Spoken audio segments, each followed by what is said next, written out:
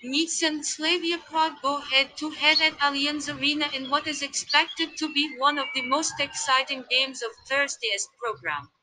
Aiglons have been having their ups and downs in the Europa League group stages, and they continue with their habit of producing much better showings at home than on the travels.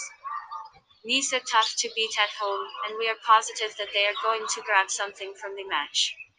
Slavia Prague, on the other hand, have been playing an important role in European competitions in recent years.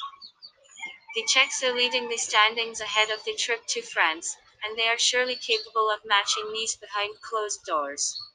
A close encounter is on the cards at Allianz Riviera, and we believe that punters can find value in betting on draw. Prediction 1 1.